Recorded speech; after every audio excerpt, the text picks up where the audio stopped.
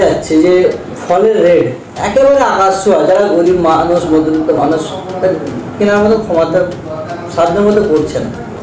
প্রচণ্ড রেটের মধ্যে যাচ্ছে। কি বলবেন এই সম্পর্কে?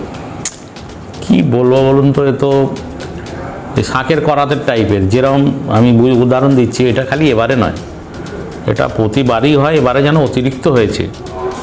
এখন যারা ফল বিক্রি করেছে, তারাও ভাবছে যে রোজার মাস দুটো পয়সা উপকার করব উপায় করব, উপার্জন করব। সেটা যেরকম ঠিক, আবার বহু গরিব মানুষ আছে, অসহায় মানুষ আছে, যারা রোজা রেখেছে, একটু ফল খাবে।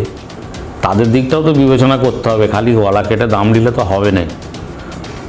সেই জন্যে দলের ফলের যে অতিরিক্ত যে দামটা হয়েছে, এটা যদি যারা ফল বিক্রেতা, যদি একটা লিমিটেড তারা তাদের মতো লাভ রাখুক কিন্তু অতিরিক্ত যেন না করে, কারণ আমি জানি, এই দেখবেন এই পনেরো দিন এই ফলের দাম এই আকাশ ছোঁয়া থাকবে।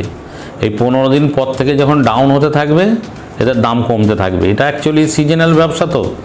আর এটা তো আর কোনো মুসলিম কান্ট্রি নয় যে যেখানে ফলের ট্যাক্স ফ্রি হয়ে যাবে, রোজাদাররা সস্তায় ফল পাবে। তবে যারা ফল বিক্রেতা তাদের কাছে অনুরোধ করব যে গরিব, অসহায় মানুষ আছে, অনেক তাদের ইচ্ছা হয় আমরাও একটু ফল খাব রোজা রেখে।